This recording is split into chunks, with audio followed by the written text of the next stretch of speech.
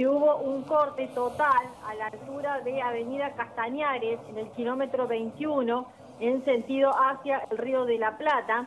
Ahí estaban manifestantes que estaban reclamando por la terminación de obras en barrios de emergencia y obras en plazas. El corte fue total a lo largo de una hora y media, siempre en sentido hacia Lugones, hacia la cancha de River. Esto todavía genera congestión desde la autopista Richeri en sentido hacia el Río de la Plata. La traza se acaba de liberar, pero las demoras son muchísimas porque fue un corte, como decíamos, de más de una hora y media. Así que paciencia a los que circulan por la traza de la avenida General Paz, que lentamente se va a ir normalizando la circulación. Y el otro dato, Hugo, tiene que ver con el tren Mitre, el ramal Tigre, está limitado entre Núñez y Tigre.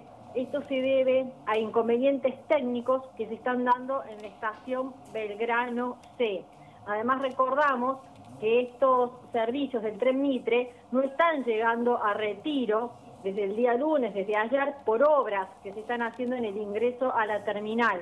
Ninguno de los tres ramales, del Tigre y el Mitre y Suárez, llegan a retiro, con lo cual ahí las personas tienen que utilizar otras alternativas porque el descenso o ascenso se produce en una o dos estaciones anteriores de llegar a retiro.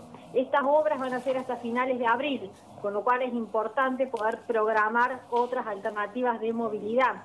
Una opción puede ser la línea de colectivo 130, que hace el trayecto final de lo que es el recorrido del tren Mitre, Hugo.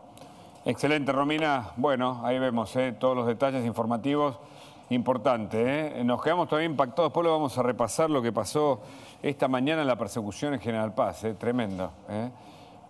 Sí, sí, y generó muchísimas complicaciones también. Te digo que es un enero bastante atípico, porque por lo general siempre esperamos tener menos tránsito y hoy tuvimos de todo, hasta incluso amenaza de bomba en el tren San Martín y Sarmiento a la mañana. Hay que estar muy atentos, un año que comienza con mucha actividad. Muchas gracias, Romina, un abrazo.